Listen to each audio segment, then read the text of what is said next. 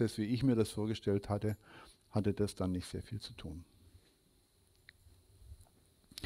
Ähm, das hat natürlich insgesamt auch mit der Mentalität vieler Top-Führungskräfte zu tun, dass die eigentlich gar nicht an sich den Anspruch haben, dass sie ein Bild von der Organisation in ihrer vertikalen Durchsteuerung haben dass sie, dass sie gar nicht denken, sie müssten das wissen. Dazu haben sie ja ihr Mittelmanagement. Sie haben aber noch nicht mal ein vernünftiges Bild davon, wie, welches Bild das Mittelmanagement haben muss, damit es das richtig steuert und von daher auch kein eigenes Bild, wie sie die Leute steuern müssen, dass sie die Organisation richtig steuern, sondern da gibt es irgendwie so eine Mentalität, so eine Sen Senatoren-Launch-Mentalität. Wir hocken beieinander, wir verkünden, was geschehen soll. Es werde Licht und äh, damit es Licht wird, dafür sind dann äh, meine nachfolgende Management-Ebene zuständig. Die werden ja teuer bezahlt. Deswegen verbieten wir uns jede Rückfrage.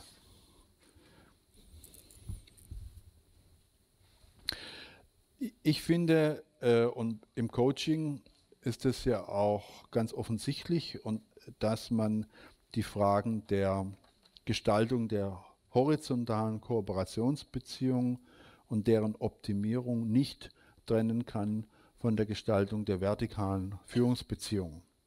Und dass, wenn man das Ganze optimieren will, erstens äh, man wechselseitig voneinander wissen sollte, also Dialog, auch dass man wenn man nicht direkt miteinander zu tun hat, man komplementär aufeinander bezogen handeln kann. Ihr erinnert euch an das Verantwortungskonzept.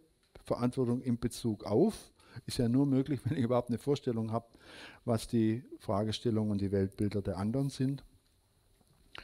Und dass von daher eigentlich Teamarbeit ohne äh, der Fokus Team ohne der Fokus Führung nicht allzu viel Sinn macht.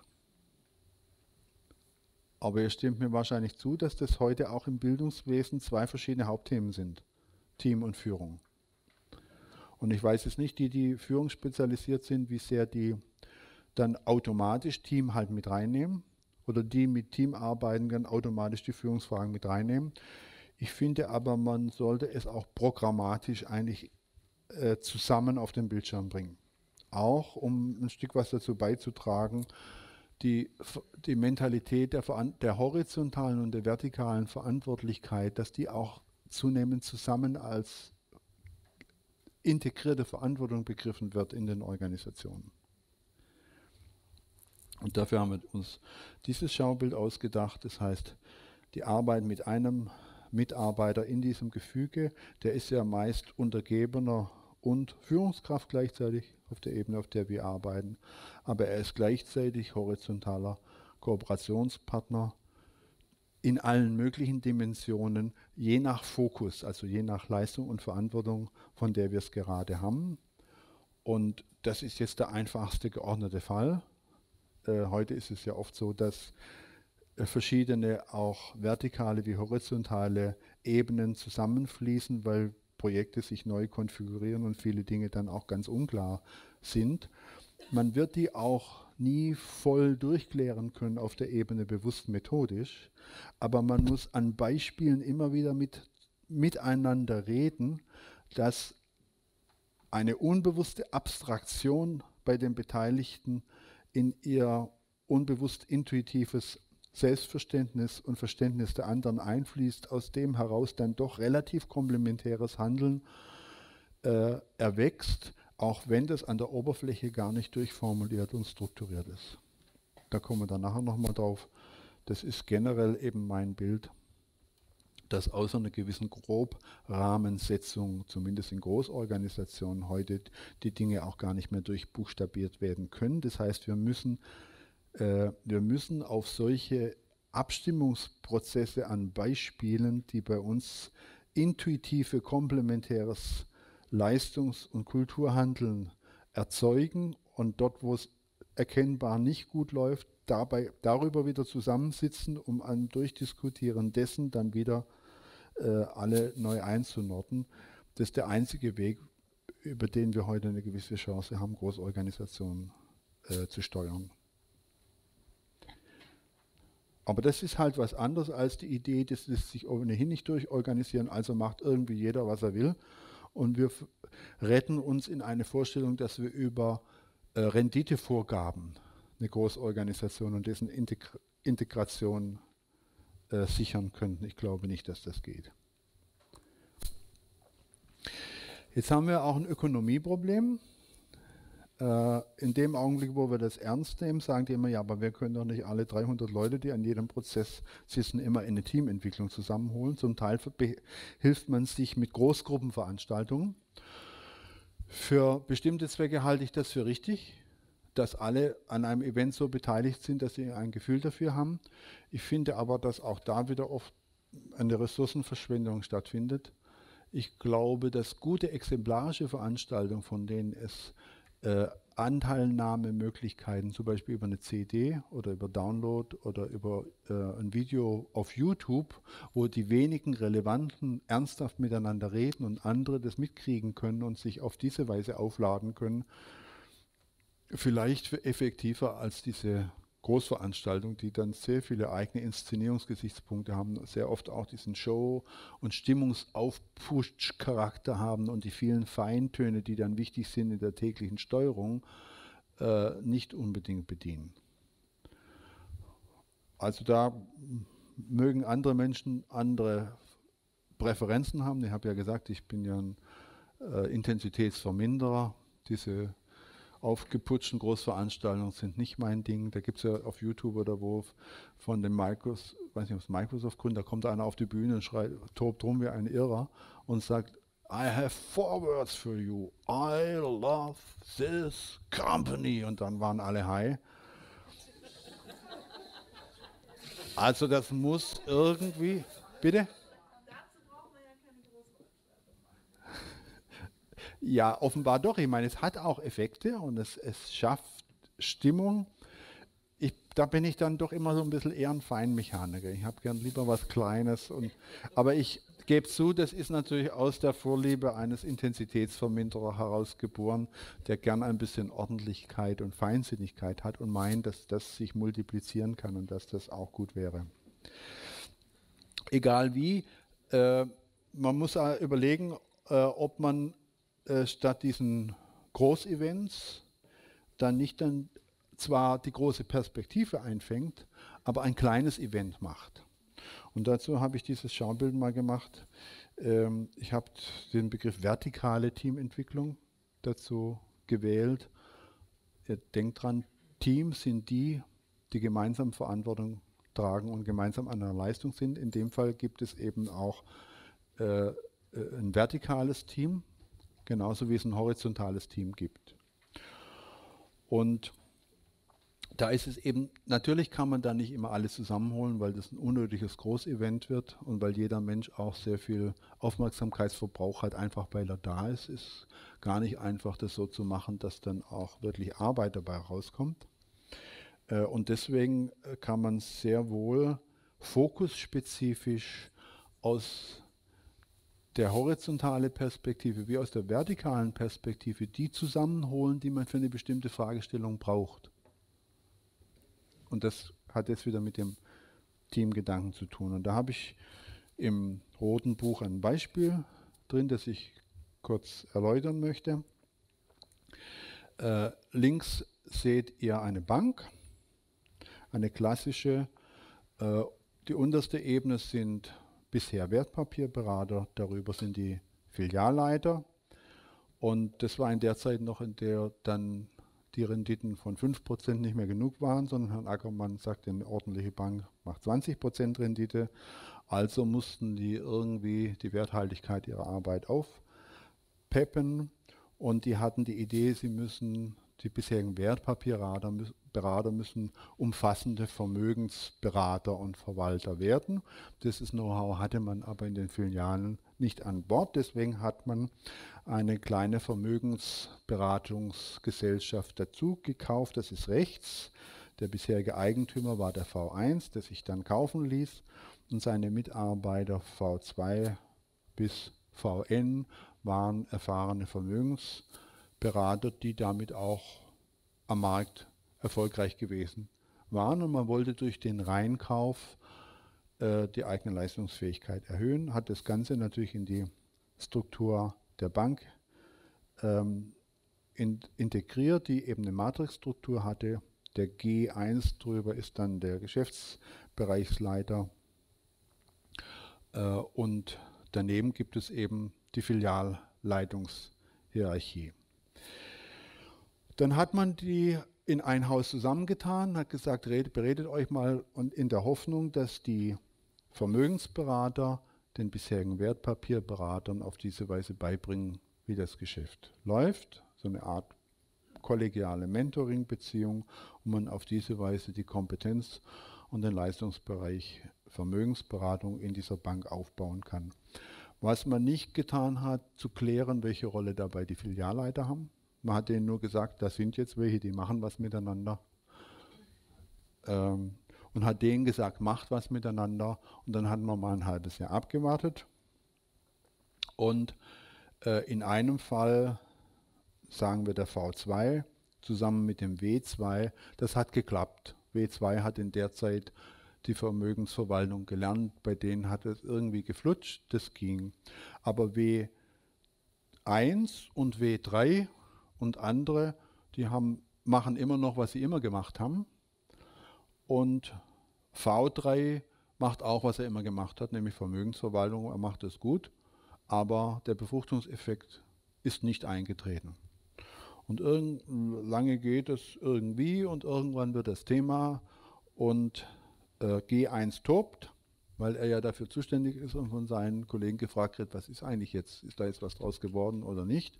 Und sagt, es liegt daran, dass die Wertpapierberater, die alten, halt völlig unfähig zu sowas sind und die muss man rausschmeißen und neue einkaufen, damit man das Geschäft aufbauen kann. Und an der Stelle kommt dann der Berater rein, Berater rein und sagt, ja, wissen Sie überhaupt was darüber, was notwendig gewesen wäre, dass es klappt oder was, warum es nicht klappt? Beziehungsweise dort, wo es klappt, warum es da geklappt hat und warum man das nicht dorthin übertragen kann, wo es nicht geklappt hat. Also Frage nach der Lernfähigkeit einer Organisation.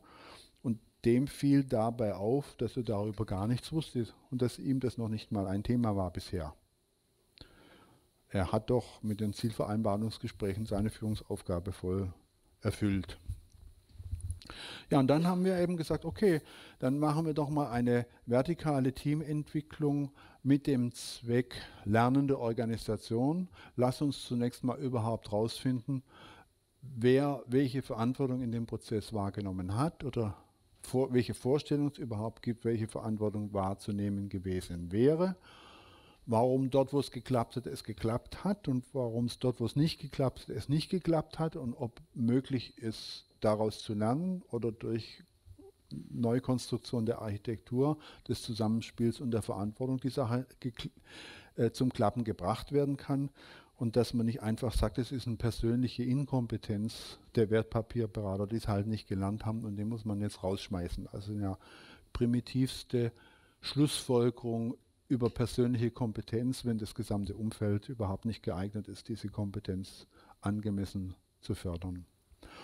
Und dass da aber nicht alle Leute auf den Plan kommen, haben wir gesagt, machen wir Folgendes. Der Geschäftsbereichsleiter, der darüber offenbar gar nichts weiß und darin bisher auch gar nicht seine Verantwortung gesehen hat, der muss mit auf die Bühne. Es muss ähm, der Leiter der Vermögensberater, der sich zu diesem Zweck hat einkaufen lassen, mit auf die Bühne, damit wir mal erfahren, welche Rolle der eigentlich spielt. Dann nehmen wir von den Vermögensberatern einen von denen, der sein Know-how erfolgreich weitergegeben hat, und einen von denen, äh, der sein Know-how nicht erfolgreich weitergegeben hat. Und wir nehmen zwei Filialleiter, äh, weil ja irgendwie auch sicher geklärt werden muss, was das mit der Leitung der Filiale und das Zusammenspiel in der Filiale zu tun hat. Und wir nehmen den Einwertpapierberater, der jetzt eigentlich zum Vermögensberater geworden ist, und wir nehmen zwei, die eigentlich weitermachen, was sie immer gemacht haben. Und dann sind das nur äh, acht Personen. Und dann hat man einen übersichtlichen Kreis, mit dem man dann gut arbeiten kann und haben dann mit denen weitergearbeitet. Das Projekt, das Beispiel selbst will ich jetzt gar nicht entfalten. Ich will nur aufzeigen, dass wenn man nicht in Organisationsentwicklung allgemein oder in Qualifizierung allgemein oder in Teamberatung allgemein denkt, sondern sehr fokusspezifisch im Rahmen dieser Definition denkt, dass man dann auch sehr spezifische Maßnahmen ansetzen kann. Und dass es, ich äh, zu unserer Aufgabe rechne, dass wir da sehr intelligente Vorschläge machen. Und nicht einfach, wenn einer anruft, sagt, ja, ist in Ordnung, rufen Sie das Team zusammen, wir machen mal einen Termin und dann sehen wir dann schon. Funktioniert immer noch gut, wird man meist keinen Widerspruch äh, erfahren, aber gibt Probleme. So, das war zum Thema Team. Setzt euch eine Viertelstunde zusammen, jetzt vielleicht mit zwei anderen, also tauscht ein bisschen und erzählt euch mal, was das in euch ausgelesen hat, welche Filme bei euch abgelaufen sind, welches Verhältnis ihr zu diesen Konzepten habt, dort, wo ihr sie auch schon benutzt habt oder unter anderem Namen ähnliches äh, ohnehin entwickelt habt, wo ihr die Parallelen seht, wie ihr euch da andocken könnt. Viertelstunde.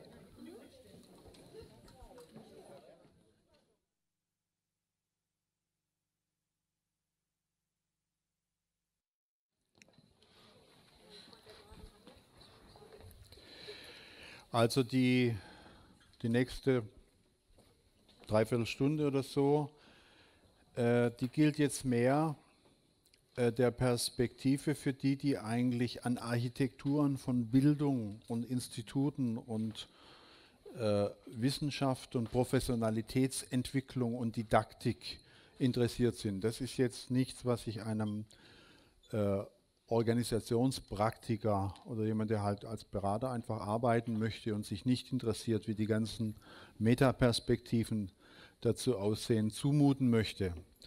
In der Metapher gesprochen, äh, dem Obstbauer, der einfach seine Bäume anpflanzen will und der gute Frucht haben möchte, den interessiert jetzt nicht unbedingt neue Überlegungen zu der Art des Baumzuschnitts und äh,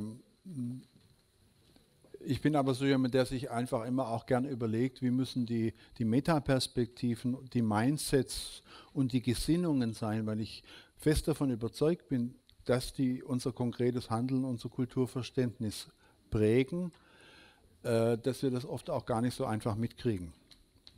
Ich hoffe, dass es auch am Beispiel der äh, Konzept Politik und der Strategien, die sich bei unserem Institut ja aus der Arbeit heraus entwickelt haben, dass das deutlich werden kann. Und für diejenigen, die sagen, okay, das ist nicht unbedingt meine Handlungs- und Orientierungsebene, ist es ja auch völlig in Ordnung, in Trance zu verfallen und an einem der weiteren Themen in Ruhe weiterzuarbeiten, aber nicht wieder schnarchen.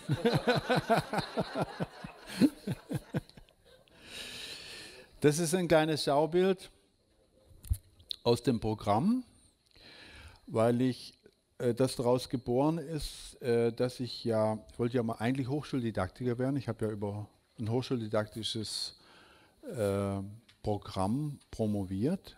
Ich wäre eigentlich auch gern Hochschullehrer geworden, wenn ich äh, nicht als bunter Hund nirgends reingepasst hätte. Ich habe nicht in keine Fakultät so richtig reingepasst. Und wenn ich nicht auf Kriegsfuß gestanden wäre äh, mit dem, was die meisten dort unter Wissenschaftlichkeit verstehen. Äh, und ich habe mich oft genug dann äh, so ein bisschen in die, ich bin halt Praktiker-Ecke rausgeredet und nicht ernst genommen, dass ich mich eigentlich sehr wohl als wissenschaftlich denkenden Menschen verstehe, aber ein anderes Verständnis von Wissenschaftlichkeit, was zurzeit an den meisten Hochschulen vorherrschend ist. Und jetzt bin ich ja im Hochschulrat der Pädagogischen Hochschule, also ich bin doch zurückgekehrt, um auch mit den Institutionen diese Diskussion aufzunehmen, was eigentlich eine angemessene Wissenschaftlichkeit ist und nicht zu sagen, okay, dann lass die machen und wir machen unser eigenes Ding. Wir brauchen die ja gar nicht. Das ist eine Verschwendung von gesellschaftlichen Ressourcen.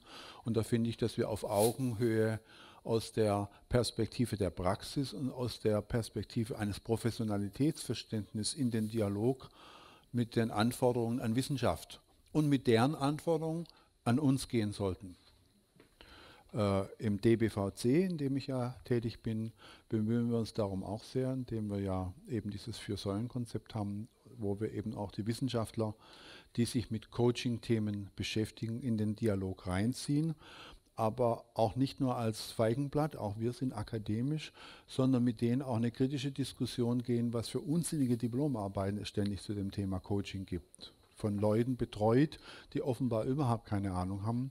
Und dass wir gesagt haben, wir unterstützen nur noch Diplomarbeiten, wo vorher das Diplomarbeitsdesign bei einer Wissenschaftlerkommission des DBVC eingereicht wird, dass sie drauf gucken, ob das überhaupt ein sinnvolles Vorhaben ist.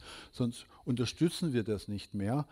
Wir haben oft das Problem, dass wir die armen Studenten dann ohrfeigen müssen, die ja nichts dafür können, dass sie von Tuten und Blasen keine Ahnung haben, weil sie ja denken, ihr Professor weiß schon worum es geht. Und er weiß es halt oft auch überhaupt nicht.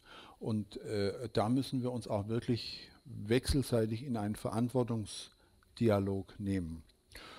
Und deswegen habe ich das so beschrieben, dass wir uns eben in diesem Spannungsfeld zwischen Praxis, also dem konkreten Handeln vor Ort, der Professionalität, der Entwicklung eines Selbstverständnisses als Professionelle und unserer Profession beziehungsweise der vielen neuen Professionen, die sich entwickeln, bewegen und unseres Verständnisses von Wissenschaft.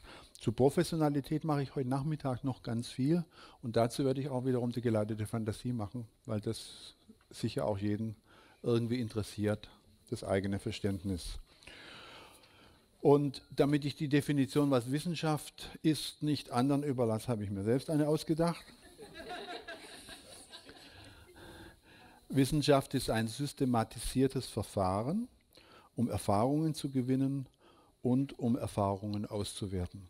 Also das eine ist das Empirische, das Auswerten, und das andere ist das Experimentelle, Erfahrungen zu gewinnen. Das ja die typischen Bereiche auch der wissenschaftlichen Betätigung sind. Und Wichtig daran ist, ist es, dass es ein systematisiertes Verfahren ist. Also nicht von Eindruck zu Eindruck irgendwie, sondern dass man sich schon ein bisschen darüber verständigt, wie man miteinander Erfahrungen generiert oder wie man Erfahrungen miteinander auswertet. In der Wissenschaft gibt es natürlich da auch die Diskussion zwischen den klassischen Empirikern äh, und den heuristischen Verfahren, den statistischen Verfahren, heuristischen Verfahren. Die meiste Wissenschaft, zumindest die empirische Wissenschaft, ist ja immer noch sehr geprägt von der Vorstellung, wissenschaftlich ist nur, was wiederholbar ist und in der Wiederholbarkeit immer die gleichen Ergebnisse gibt. Allerdings muss, hat schon ein Herr Müller, weiß nicht mehr, wie er mit Vornamen heißt, schon vor 20 Jahren habe ich einen Vortrag gehört, darauf hingewiesen, das ist nett, trifft aber nur für die Minderheit der Ereignisse auf unserem Planeten zu, dass sie wiederholbar sind. Die wichtigsten Ereignisse wiederholen sich eben nicht. Und deswegen brauchen, das heißt aber nicht, dass wir uns mit denen nicht wissenschaftlich denkend auseinandersetzen können. Also wir brauchen da irgendwie auch andere Verfahren, äh, um auch mit den einmaligen, mit den besonderen und situativen Ereignissen äh, systematisch umzugehen. Ich kann de, hm, da können wir sicher sehr ausführlich diskutieren, das äh, kann ich jetzt im Moment nicht machen. Ich will nur zeigen, dass ich versuche da ein Stück Flagge zu zeigen und dass wir auch da äh, in einen Verantwortungsdialog gehen sollten, äh, weil ich meine, dass die Hochschulen da auch wirklich mehr Beitrag leisten können. Da wird dann oft Cedar Modio geschrien, jetzt sollen wir funktionalisiert werden, es geht nur noch um die pragmatische Verwertbarkeit, wo bleibt die Freiheit der Wissenschaft. Aber sehr oft äh, ist das ein Wortgeblubbere, das einfach eigentlich sagt, ich bin niemandem Rechenschaft schuldig und Effizienz spielt keine Rolle. So, Modelle, also diese ganzen Konzepte hier oder Methoden, Vorgehensweise, wie zum Beispiel Spiegelungsgruppe, Designübung, all das, was wir da regelmäßig machen, was ihr ja auch macht, sind für mich Werkzeuge und die dürfen sich, die dürfen nie einen Eigenwert kriegen, sondern die sind für mich immer Denk- oder Handlungswerkzeuge und müssen sich eben so ganz pragmatische Fragen gefallen lassen, nämlich was leistet das Werkzeug? Ist es flexibel und doch spezifisch verwendbar? Wie gut ist es mit anderen Werkzeugen und Entwicklungen kombinierbar? Welchen weiteren Ressourceneinsatz, äh, welchen, äh, ein, welchen weiteren, weitere Ressourcen verbraucht sein Einsatz? Also die, die, die Lateralverbräuche, die damit verbunden sind. Und ich finde auch immer wichtig, braucht es dauerhaft Spezialisten oder ist es integrierbar? Also ich bevorzuge Denk- und Methodenwerkzeuge, die einerseits auf einem gewissen äh, ein gutes Niveau haben, die aber andererseits im Rahmen der Evangelisierung den Menschen in die Hand gegeben werden können, die sie verstehen, deren Konstruktionsprinzipien sie verstehen und mit denen sie selbst als Werkzeugmacher weitergehen können. Und wo sie nicht abhängig werden von Spezialisten, wie wir das im Saatgutbereich haben, wo dann immer mehr Menschen eigentlich ihrer äh, Kompetenz und Verantwortlichkeit enteignet werden, indem man sie mit Verfahren versorgt, zu dem man immer einen Priester braucht.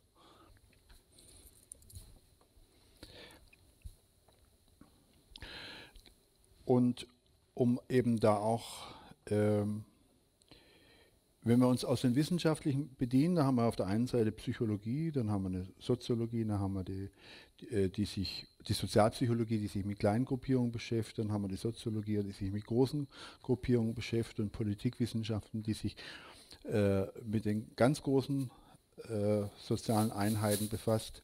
Die haben, bieten uns aber Modelle und Verfahren, die zueinander nicht kompatibel sind. Die sind ineinander nicht übersetzbar. Ich brauche also für jede Aggregationsebene brauche ich eigentlich andere Verfahren und andere Denkweisen das ist eine Aufblähung, die völlig unökonomisch ist. Deswegen legen wir Wert darauf, dass wir solche Konzepte äh, machen, die sinnvolle Fragen formulieren für den einen, Einzelnen, für die innere Organisation des Einzelnen, für äh, die Gruppe und die Organisation einer Gruppe und für die ganze Gesellschaft. Und dass dieselben Fragen auf jeder dieser Ebene äh, zueinander passend formuliert werden kann, sodass man auch das, was im Einzelnen geschieht, auf die Gruppe übertragen was kann und auf die Gesellschaft, sodass das Puppe in der Puppe ist, dass man nicht für jedes einzelne Phänomen ein eigenes Werkzeug braucht und am Ende gar keine Vorstellung hat, wie diese Dinge, die Phänomene und die Werkzeuge eigentlich zusammenpassen und wie dieser äh, Zerfleddertheit unserer Konzeptlandschaften dann noch weiter dienen. Also da äh, muss einfach die, die, die, Nutzbarkeit der Modelle äh, auf diesen verschiedenen Aggregationsebenen gegeben sein. Ich möchte ein Beispiel machen mit einer sehr einfachen Unterscheidung. Das kommt ja nachher noch. Wir lieben es ja Konzepte, die eins, die zwei, drei oder vier Gesichtspunkte haben. Und das ist ein, ein Konzept, das einfach nur zwei Gesichtspunkte hat, nämlich die Unterscheidung zwischen Integration und Integrität. Integration ist ein Begriff, den ich dafür gefunden habe, für die Fähigkeit, die Dinge zueinander, beieinander zu halten. Also so, dass äh, die Organisation nicht aus dem Ruder läuft, ähm, sodass wir alles in einer Zeit, in einem Raum mit den vorhandenen Energien auch irgendwie zueinander passend organisieren können. Das ist die Frage der Integration. Und Integrität, das ist ein Begriff, den ich dafür gewählt habe, für stimmt es. Also wenn wir es zusammenkriegen, ist es auch passend für die Zeit, für die beteiligten Menschen, äh, für die Absicht, die man damit verfolgt. Und das ist natürlich ein Unterschied, wenn einer ein Problem hat, hat er ein Problem, weil es für ihn nicht stimmt, oder hat er ein Problem, weil es zwar stimmen würde, er es aber nicht auf die Reihe kriegt. Ja, das sind ist ein Unterschied, der einen Unterschied macht, der zum Beispiel im Coaching in unterschiedliche Beratungsrichtungen führen wird. Das will ich jetzt nicht ausführlich darstellen, diese verschiedenen Dimensionen. Das ist, wie wir nachher sehen werden, das sind jetzt natürlich Konzepte, die sehr kernprägnant sind. Also wenn ich sie erkläre, kriegt man ein Gefühl dafür, was gemeint ist und kann es auch wirklich gut unterscheiden. Aber fragt mich bitte nicht, definier mal das ganz genau. Weil wenn es genau definiert wird, bleibt dann nichts mehr davon übrig. Ich verwende das jetzt als Beispiel dafür zu sagen, das ist eine Denkweise, die interessant ist für das Individuum. Wie, wie organisiere ich mich? Kriege ich die Dinge zusammen organisiert? Oder äh, haben die nicht Hand und Fuß, weil ich mir zu viel vornehme oder weil ich die Dinge zu verstreut organisiere, weil ich sie nicht ineinander verschachtle, dass sie äh, dass die einzelnen Elemente vielfacher Nutzen und Anschlussfähigkeit haben, sondern es additiv nebeneinander kriege und dadurch mein Leben einfach zu klein wird, um das da drin zu organisieren. Und wenn das, wenn ich da nicht gut drauf bin, muss ich einfach lernen, mich besser zu organisieren. Also dann muss ich Richtung Integration dazulernen gibt Menschen, die kriegen alles ganz prima auf die Reihe und trotzdem stimmt es für sie nicht oder der Output ist auch nicht genügend gut überzeugt. Andere auch nicht, da fehlt es nämlich an was anderem, nämlich dass es Sinn macht, dass es Gehalt hat in der jüngsten Psychologie. Also das gefühlsmäßige Bewerten sagt mir, alles okay, aber langweilig. Und es gibt ja Kollegen oder Schüler, die ihr habt, die haben ihr Köfferchen, mit dem sie auf zum Marketing gehen, vollgepackt, alles bestens organisiert, kommen dorthin und kommen trotzdem ohne Auftrag zurück. Weil der andere genau merkt, es ist alles an seinem Platz, aber es, es ist nichts drin, was wirklich interessant ist. Und da gibt es andere, die gehen zum Kunden, wo der Kunde das Gefühl hat, genau das wäre es, aber mit so einem Chaoten kann ich nicht zusammenarbeiten. Kommt leider auch ohne Auftrag zurück. Oder die Organisation neigt zum Chaotentum, oder ist besonders ordentlich und denkt, das wäre jetzt Lebendigkeit, wird dann bald eines Besseren belehrt werden. dann gibt es interessante Dynamiken. Diese Fragestellung kann ich natürlich ganz genauso auf ein Team anwenden, ja? wenn ein Team organisiert ist. Äh, sind die so organisiert, dass die Dinge richtig ineinander greifen? Stimmen die Rollen, stimmen die Instrumente, stimmt das Timing, stimmt die Führung? Äh, oder ist alles so verstreut organisiert, dass es eigentlich schon deswegen das Team nichts recht zustande bringt, weil es einfach zu chaotisch ist, zu ungefügt zueinander? Oder ist das Team wohl organisiert, aber es hat keinen Spirit? Also äh, es gibt kein klares, gemeinsames oder nach außen spürbares äh, Identity dieses Teams, die bei anderen ankommt und eine Kulturvorstellung weckt, die sagt, ja, das ist es, da ist Substanz drin, das wollen wir haben, mit so einer Kultur wollen wir uns einlassen. Wie das Produkt dann genau aussehen wird, können wir dann später entscheiden. Und ähnliche Überlegungen kann man eben auch auf ein ganzes Unternehmen, äh, auf einen Konzern anwenden. Es gibt Konzerne, die eigentlich gute Ideen und Produkte haben und die daran scheitern, dass sie sich so organisiert haben, dass sie es nicht mehr zusammenhalten können. Es desintegriert völlig. Und da ist die Frage, wie kann man es besser integrieren? Und es gibt Konzerne, bei denen flutscht alles, aber der Daseinsgrund überzeugt die Menschen im Konzern nicht und überzeugt die Kunden auch nicht mehr, weil sie merken, das ist nicht, das, das, ist nicht die Art von Welt, in der wir leben wollen, das ist nicht die Art von gesellschaftlicher Leistung, mit der wir uns identifizieren wollen. Und heute, die Werbung zeigt es ja überall, dass heute die, die materiellen Produkte äh, oft nicht die entscheidenden sind, sondern was für ein Lebensverständnis und was für ein Lebensgefühl, was für ein Identitätswünsche ein Produkt verkörpert und eben nicht nur das Produkt, sondern auch die Organisation, die für das Produkt steht, beziehungsweise auch die Menschen, die man erlebt, die sich rund um eine solche Organisation finden, in der Organisation und um die Organisation herum finden. Also insofern ist es immer auch eine Kulturfrage, wer zusammen wirtschaftet. Und auch da gibt die Unterscheidung wenn es ein Problem gibt, sind das vorwiegend Integritätsprobleme oder sind es Integrationsprobleme? Oder wenn es beides ist, wie kann man es unterscheiden und was kann man fürs eine tun und was kann man fürs andere tun? Und für die gesamte Gesellschaft, globale Prozesse und ähnliches kann man eine gleiche Unterscheidung anwenden. Ich wollte jetzt nicht groß über Integration und Integrität reden, sondern das sollte ein Beispiel dafür sein, dass wir versuchen, von den vielen möglichen Konzepten solche zu wählen, die man auf jeder dieser Arbeitsebenen in gleicher Weise zu guten Fragen führt und die Antworten äh, dann auch aneinander ankoppelbar sind. Also eine gute Antwort für das Individuum passt in gute Antworten für ein Team, passt in gute Antworten für eine Organisation und passt hoffentlich auch in gute Antworten für gesellschaftliche Lösungen. Und wir können uns schlicht nicht leisten, eine solche babylonische Verwirrung der Ebenen und Sprachen zu haben, wo, wo am Ende keiner mehr weiß, sind wir eigentlich beieinander oder nicht, weil wir es sprachlich noch nicht mal auf die Reihe kriegen.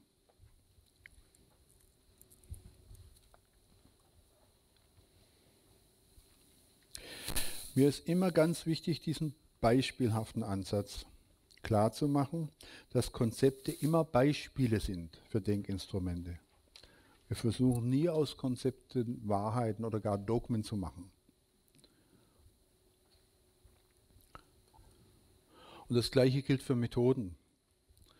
Also ich merke es ja, wenn ich zum Beispiel die Arbeit mit den sinnstiftenden Hintergrundbildern lehre, da habe ich jetzt, damit man überhaupt mal ein Rezept hat, ein ganz bestimmtes Interviewverfahren mit bestimmten Schritten und Arbeits- äh, und Kommunikationsfiguren mal zusammengestellt und veröffentlicht. Und seither wäre ich immer fast ängstlich gefragt, könnte man dann vielleicht mal die Frage weglassen und eine andere Frage stellen, wenn? Und da merke ich, wie groß die Verselbstständigung ist von beispielhaften Arbeitsfiguren, die ich halt jetzt mal als Beispiele hingeschrieben habe, die niemals als Vorschriften gedacht waren, die schon gedacht waren, dass sich jemand mit diesem Beispiel auseinandersetzt, um zu verstehen, warum ich in dem Fall es so gemacht habe, also um die Logik dahinter zu verstehen. Damit aus der Logik heraus, wenn eine Situation anders ist, natürlich auch ein anderes Denk- oder Vorgehensinstrument selbstständig entwickelt werden kann, sodass alle Werkzeugmacher bleiben und nicht einfach nur Verwender äh, von Werkzeugen, ohne eigentlich recht zu verstehen, äh, was die Logik dieser Werkzeuge ist. Und äh, die werden sich dauernd wandeln müssen, diese Werkzeuge. Von daher haben wir uns ja schon früher als Institut positioniert, dass wir jetzt nicht einen Instrumentenkoffer liefern, die die Leute bei uns lernen können, sondern sondern wir wollen, dass die Leute immer wieder neu auf der Suche bleiben, was für eine Situation haben wir. Aus den vielen Erklärungsmöglichkeiten, jetzt sind wir wieder beim Steuerungsdreieck, auf welche Wirklichkeitsebene wollen wir uns im Moment fokussieren? Wie wollen wir dort die Fragestellung beschreiben? Aus welcher Rolle heraus tun wir das? Welches Vorgehen, welche Vorgehensweisen kennen wir und wie können wir die abwandeln für diese Situation oder ganz neue erfinden, die dann die aufgeschrieben werden und ins Methodenrepertoire der Zukunft dann eingehen. Das muss ja ständig erneuert werden. Das, das kann ja nicht einfach nur fortgeschrieben werden. Ich war früher, von daher bin ich, und das sieht man ja in dem, was wir heute tun, äh, äh, auch insofern ein Didaktiker geworden, dass ich sage, wir schreiben diese Dinge alle auf wie eine Kochrezeptsammlung. Ja, nicht, dass ich meine, so müsste man kochen, aber dass wenn jemand nicht sehr erfahren ist, selber im Kochrezepte erfinden, dass er mal Rezepte hat, an denen er verstehen kann, wie es gemeint ist und die ihm in der Lage versetzen, schon mal was auf den Tisch zu bringen, aber ihn gleichzeitig in die Lage zu versetzen, dass wenn die Zutaten oder die Zubereitungsarten, die in den Rezepten vorgesehen, nicht zur Verfügung stehen, dass er weiß, was mit gemeint ist und selbst andere Zutaten, die im Prinzip das Gleiche machen äh, oder andere Zubereitungsarten, die das Gleiche die gleiche Wirkung haben, für sich ausdenken können und, und, um unter völlig neuen Bedingungen dann wieder neu handlungsfähig zu werden und nicht zu sagen, ich kann nichts machen, ich habe keine Zitrone ähm, und ich habe äh, keine Sahne, deswegen kann ich dieses Rezept nicht machen, sondern zu sagen, okay, es geht um, geht es wirklich um Säurung? Was ist jetzt die Funktion, warum soll da Zitrone rein? Und dann kann es vielleicht auch einen Schuss Essig tun. Ähm, und wenn ich keine Sahne habe, könnte es vielleicht auch ein Löffelchen Marmelade sein, wenn es nicht um die Aufhellung, sondern um die Balance äh, in den Geschmäckern Richtung süß geht. Also sie verstehen, worum sich dreht und können von daher jeweils aus all dem, was halt da ist, die Dinge neu fügen. Das ist unten die Sache mit dem Kochrezept. Ich komme gleich auf Moses und Aaron, habe ihn nicht vergessen. Ähm, von daher dient wie immer bei uns, ich sage immer eine Hand für dich, eine Hand für das Schiff oder eine Hand für die Herstellung im Moment eines Essens und eine Hand dafür bei der Gelegenheit mehr zu verstehen, was die Logik von Kochen ist in den verschiedenen Dimensionen. Sodass wir immer neben dem horizontalen Effekt einer Bemühung den vertikalen Effekt haben, das heißt die Qualifizierung für andere Situationen, die wir heute nicht kennen. Das gilt für die Individuen wie für die Organisation. Kommt dann später noch ein Schaubild, das das auch ökonomisch plausibel machen sollte für die Menschen, die sagen, ich will aber 100% jetzt für das Rezept, weil jetzt äh, am Ende werde ich daran gemessen, ob äh, äh, am Ende des Vierteljahres, wie viel Essen ich ausgegeben habe und nicht, wie gut meine Leute bei der Gelegenheit kochen und unter allen Umständen gelernt haben. Obwohl die Umstände sich vielleicht demnächst so ändern werden, dass es gut gewesen wäre, sie hätten das gelernt. Von daher, ich war, weil ich selbst so ein Erfindertyp bin und eigentlich am liebsten mir jedes Mal was Neues ausdenke, was ein bisschen nervig für euch wäre, weil dann noch sehr viel mehr äh, rumhängen würde, äh, habe ich doch dadurch, dass wir äh, ich nicht nur persönlich das gelehrt habe, sondern wir ja einen ganzen Lehrtrainerstab mittlerweile haben, dass wir einen gemeinsamen Konzeptkanon haben, das Ganze dann doch so didaktisiert, dass wir den Leuten dann auch nach einem Probekochen das Stück Kochbuch mit in die Hand geben können, mit dem sie dann vor Ort, ohne schon alle Logik verstanden zu haben, weiter experimentieren können, weil sie einfach Anleitungen haben. Und das ist das, was Aaron vertreten hat, nämlich, äh, dass das Volk auf dem Weg durch die Wüste doch mit einem abstrakten Gott, für den Moses war, nachdem er suchte, ich bin der ich bin, man darf sich kein Bildnis machen. Das Volk hat sich dann doch sehr allein gelassen und verloren gefühlt. Zumal der Moses dann ja auf diesen Berg stieg und 14 Tage nicht gesehen waren, die wussten ja nicht, ob der überhaupt noch lebt. Und sie kommen, kamen aus einer Tradition, wo ein Gott eben eine, ein Medaillon oder eine kleine Figur war, also eine sehr vergegenständlichte Vorstellung eines Götzen. Und sie brauchten schon irgendeine Bebilderung, dass sie irgendwohin wussten, wo sie ihre Sehnsüchte, ihre erforschenden Fragen, ihre Wünsche nach Segnung richten sollten. Und dieser sehr abstrakte Gott, für den ich im Zweifel dann immer noch am meisten stehe, der war ihnen nicht geheuer, auf der anderen Seite die Gefahr des Götzendienstes. Ich halte das momentane Abbild für die Sache selbst. Und dann wird es schematisch, dogmatisch äh, und die Leute werden verdummt mit etwas, was zunächst aber ihnen eine Beruhigung liefert, aber gleichzeitig werden sie damit amputiert. Und dann kommt der Moses runter und sieht, die tanzen um das goldene Kalb, die haben das nicht ausgehalten, ohne sich einen Götzen zu bilden, auf Gottes Suche zu bleiben. Der war dann ziemlich brutal, hat die meisten davon ausgerottet. Also ein solcher Moses möchte ich nicht sein. Ich denke, eine gute Didaktik versucht beides miteinander zu kombinieren. Einerseits immer wieder Bilder zu liefern, auf die wir uns beziehen können, um schon mal mit dem Hören in gutem Kontakt zu sein, sie aber so zu liefern, dass die Leute darin nicht das Ende der Suche sehen, sondern nur eine Zwischenstufe und dass sie lebendig und auf der Suche und in der Entwicklung bleiben, um damit das Anliegen von Moses, dass nämlich eine Gottessuche stattfindet und nicht eine Beendigung der Suche, weil man glaubt, Gott gefunden zu haben, weil man ein Zwischenabbild davon gefunden hat und die Sache dann seelenlos und tot und entwicklungsfeindlich wird. Also das hat mich immer sehr beschäftigt, dieser Zwist zwischen Moses und Aaron. Ich denke, beide gehören zu den Hausgöttern unseres Instituts.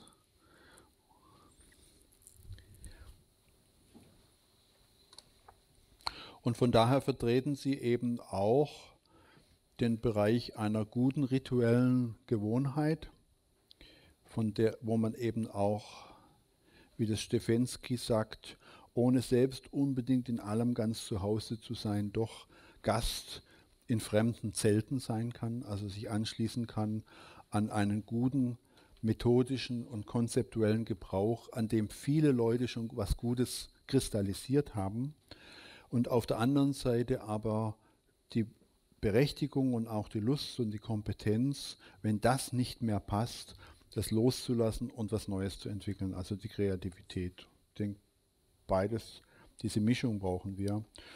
Und äh, es ist auch eine Überforderung, immer kreativ zu sein und zu allem Einzellösungen zu haben. Es ist auch in Ordnung, auf Gewohnheiten zurückzugreifen, nur eben wach dafür zu sein, dass wenn die nicht passen, dass man dann darüber hinausgeht und sich von ihnen lösen kann und nicht die Wirklichkeit passend macht zur Gewohnheit, sondern die Gewohnheit entwickelt, damit sie zur neuen Wirklichkeit passt.